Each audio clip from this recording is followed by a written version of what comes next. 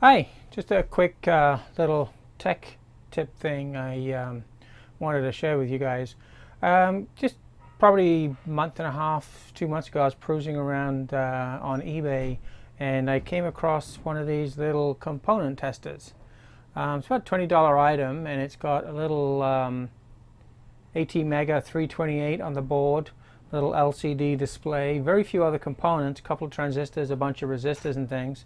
And um, got a little LCD display and it's supposed to be able to do a whole bunch of different component testing uh, all automatically identifying things like MOSFETs, bipolar transistors, resistors, diodes, LEDs, um, capacitors, inductors, and a whole bunch of different uh, variants in quite a wide range as well. So I thought I'd get one, and it just arrived a little bit, a little while ago. So I thought I'd do a quick uh, run through it to see how accurate it is compared to um, a $500 multimeter like one of my Agilents. And I don't expect too much out of it, but uh, it'll be interesting to see that uh, a little universal checker like this, how well it actually will operate. So um, without further ado, let's just get straight to the bench and hook it up to some random electronic components and see what it can make of them. So I've grabbed a whole bunch of random components out of my um, salvaged and uh, clean up bit bucket where uh, I just throw things in until I get time to sort them out. And we're just going to pick a few things here. We've got inductors, we've got capacitors, we've got resistors, uh, LEDs and uh, diodes and stuff. So we're just going to stick them in, see what it makes of it. And we'll put it on my Agilent multimeter and see what it makes of it there as well. So we can compare readings. Um, I'll also get up my Vishay um, resistance standard as well and plug that in to see how well that does. But let's first of all um, whip through a few components and see what it makes of them. Alright, first up we've got a 1 microfarad capacitor. This thing is very very old. I got it when I started my electronics career from RS Components and uh, it says on here it's supposed to be 1 microfarad I think from what I can see. So let's just uh, plug that in, drop it down. This device works off of a um, 9 volt battery, just uh, hooked in here. And all you do is you just press the one button, comes on, and it does a quick self-test. now my battery's a little low, but I think it's still probably going to be okay. And um, there we go, 974.9 nanofarads. So that's not too bad at all. It's actually uh, pretty close to one mic considering the age. It's uh, done. It's uh, holding its own pretty good. So let's uh, take that off, and we'll connect it to the Agilent on capacitance and see what it makes of it. All right, so that's just hooked on a couple of leads here. Let's switch to capacitance and 979. So that's actually not too bad. That's reading 979.1 nanofarads. And uh, our tester was reading, I believe, the same. And that was reading 970. This one is reading, let's see, can't remember what it was. 974. So yeah, they're very, very close to each other. That's pretty good. Let's try another capacitor. That's one bites the dust. It's a random large electrolytic. So this one, according to the can, is um, 1000 microfarads. So let's just drop it in, put the connector down, hit the test button. Mostly it doesn't matter how you connect things, but of course occasionally you can hit it wrong like I just did there. So 900 90.5 microfarads according to the tester. And let's see what the Agilent says. Still on capacitance. Let me just drop it into the 1000. So 990 versus 1000. That's uh, still pretty good. So that's two down. It's done pretty good. That's quite a wide range of capacitors there. Let's um, try something a little different here. Got a old, um, I think this is about 1 or 10 nanofarads or something like that. Can't remember exactly what it is. Let's stick it in the Agilent first just to see what it is. So 135 nanofarads is what we're getting on the Agilent. So let's put it into the uh, component tester. Clip it in. Hit the test button. And we had 130 30 odd nanofarads. So let's see what this makes of it. And 136 nanofarads, so that's pretty good. That's still very, very close. Considering how uh, inexpensive this component tester is, um, it's doing a pretty damn good job of identifying those things. All right, let's throw some resistors at it instead then. Um, random resistors. Okay, what's this first one? 100k. Let's just drop that in the um, pins. Notice I'm not actually changing anything on this little component tester. All I'm doing is dropping it in and hitting the test button. It's doing all the work to figure out exactly what uh, this component is. So 101.7K and according to the Agilent, now of course the Agilent I'm going to have to switch to the resistance range. 101.6, 101.7. That's pretty accurate for a $20 um, little tester there. Let's take another one. What is this? This is uh, 1K by the look of it. Let's stick it in the tester. Let's hit the test button.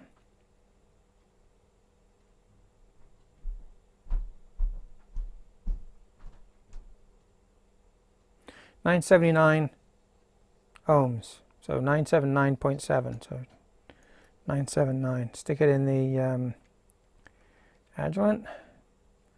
976. So still within um, less than a percent error between the two of them, like 0.4 percent. Um, that's pretty good. Let's just go for um, something a little different here. Ah, I can't remember which way around this is, but this is a um, MOSFET that I've been using on my breadboard. So you can see I've got it soldered onto some little pins here.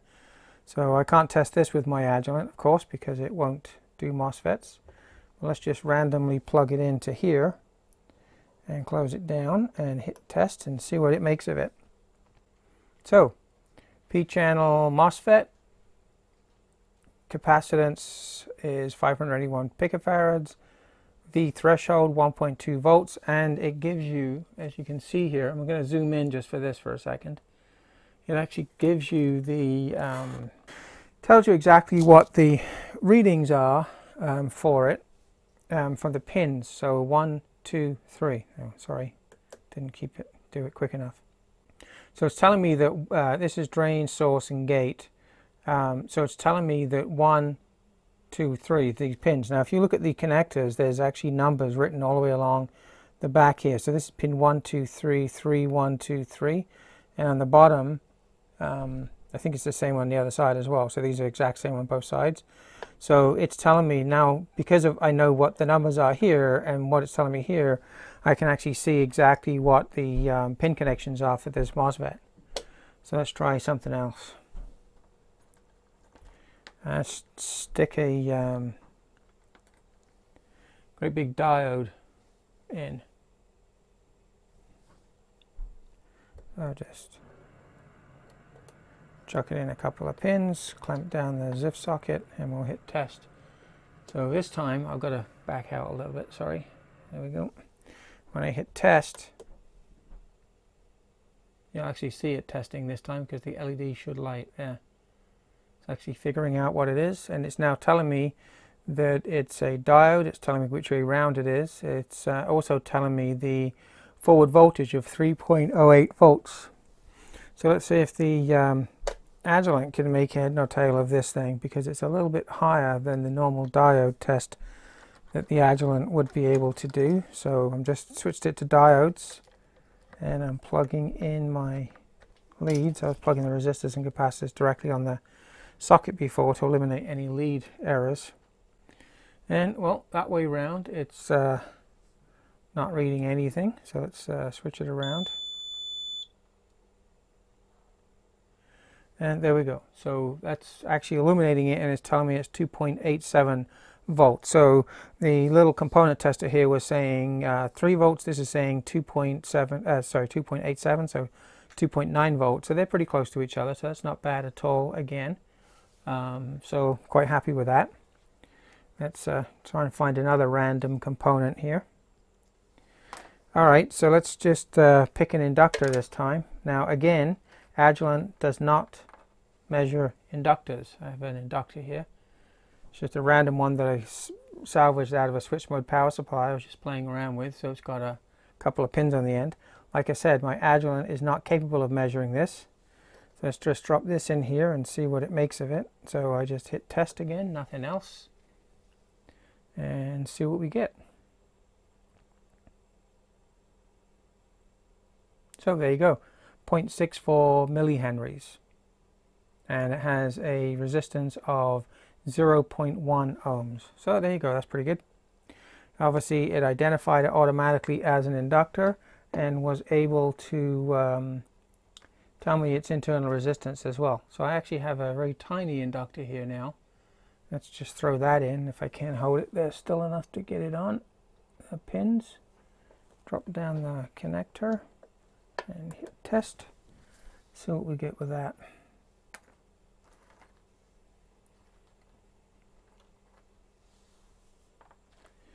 Oh, there you go, 0.05 millihenries with a 0.1 ohm um, resistance. So it's uh, successfully measured that one. I don't have an inductance meter to be able to um, truly test what the actual values of those are. So I'm just going to have to assume that it's doing a reasonable good job of it. Alright, I've got a 1N4148 little diode here. Should have a forward voltage of about 0.6 volts, something like that. So I'll just drop it. There we have. So I know it's about 600 millivolts and it's telling me 666 millivolts. Um, reverse current is 6 nanoamps, so I'm not sure how accurate that is on the nanoamps, but it's certainly giving me a good reading there. Um, what other components do I have here that I can actually try? thrown in a bunch of different capacitors that all worked out pretty good. Thrown in some resistors. Oh, okay, that's fine. Let's uh, bring in the big guns here. All right. Now, I'm going to test how accurate it is at measuring resistance because I've got my Vishay resistance box here which I've used on plenty of other videos and I'm just going to hook it up to actually see how accurate this can measure. Now in order to do this I'm going to just put use a couple of components with um, a clip-on so at the lowest resistance level levels we're going to get some errors because um, I've got extra connections here but nevertheless we will do our best to get this thing to work. Alright, so that's got that end on. Now, what I'll do to start with is I'm just going to short these out. Alright, so I've got the couple of clips right there. Now in order for you to see the screen properly, I'm not going to show you the resistance box, but I will call out what I'm adding. So right now, I've got shorted out, so it should be showing zero ohms or close to it anyway. So 0.03. So we got a 30 milliohm offset. That's not too bad. So now let's put it onto a um, 1 ohm resistor and we'll hit test. So this has got, as I said, 30 milliohm offset when I measured zero. So we'll see what we get now. 1.09, so that's actually measuring 1.06 then if we allow for the fact that we have the same offset. Um, so that's 6% um, out, which if you consider that even my Agilents normally are uh, only something like half percent, 1% accurate for resistance, um, this thing at the very low end, that's not doing too bad a, a job of measuring. We'll go up to 10 ohms now and try that. 10.2 so now it's down to uh, 2 sorry yes 2% inaccurate which is, you know, if you're measuring resistors and you're getting roughly the right value, I mean, for 20 bucks, you really can't complain about this. Let's go up to 100 ohms, try that. We're going to go up to 1 meg and see how we go in 10 uh, decade increments. 99.8, so that's pretty good. Uh, 1K, re-hit test.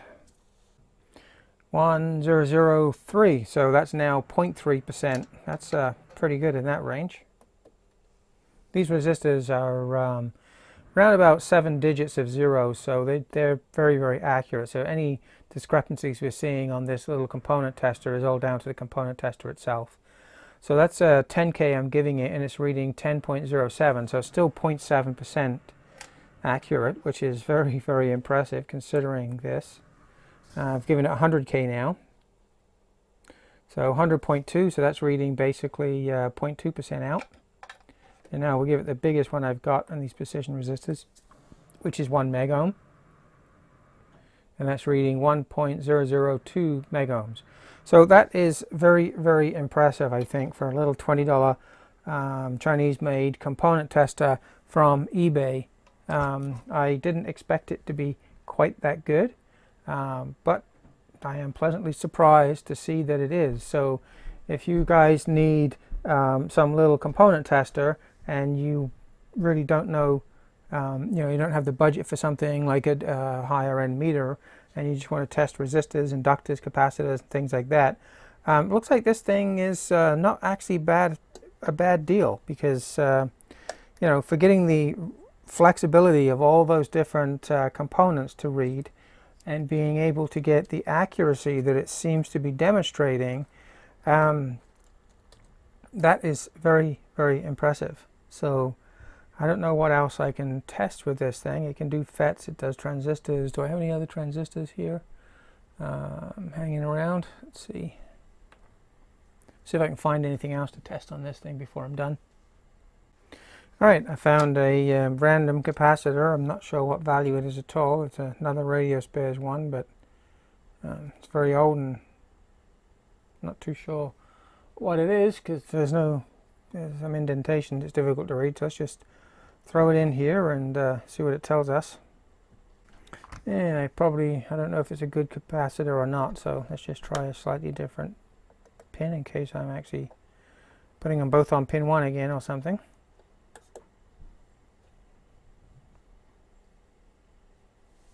No, I guess I was. So that's reading um, 9242 picofarads. So it's actually giving me a good reading there. Let's stick it on my Agilent and see what it gives me. So putting it on the terminals now. There we go, 93 64 nanofarads and our tester was giving us, I can't remember what the value was now, just put it back in and retest it. Yep, 931 instead of 934, so that's pretty good. It's uh, Now I think I found the um, component here, I'm pretty sure this is actually a Zener diode, not a regular diode, so let's just put this in and we'll see what it makes of this. And I keep doing that. Sorry about that, chaps. Let's just change that. Well, there you go. Now, of course, the Zener diode has got um, current flow in both directions depending on what it is. So, of course, in one direction it's going to be pretty much like any other silicon diode, which is it's showing you here U forward 1 is 751 millivolts. So that is the normal forward bias of the Zener diode.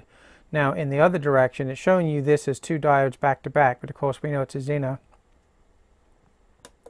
Sorry, lost the uh, power there a second.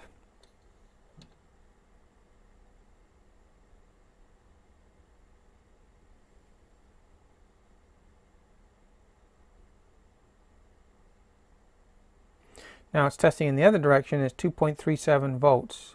Now I'm not too sure what current it's passing through there but um, that's probably it's, it's, probably a 3 volt Zener or a 2 point uh, I'll have to check what uh, my diodes were that I had ordered because I'm sure it's around a 3 volt one but it might be a 2.5 or something Anyway, it seems to be certainly identifying it as a Zener diode and uh, giving you the forward voltage in both directions.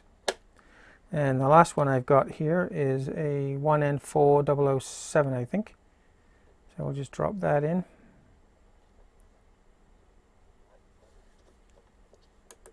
Hit the test button.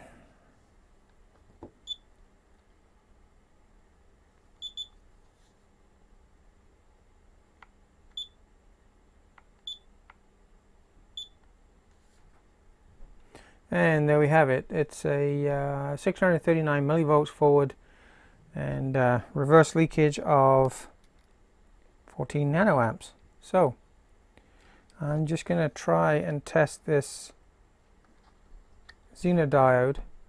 So there's one direction. So my Agilent is actually saying 1.86 volts. My little component tester there was actually saying 2.3. So they're probably based on the fact that there are different currents being passed through it and we're not getting enough to the point of it being saturated because if I reverse the diode now oh didn't have that in screen. Let's do that again.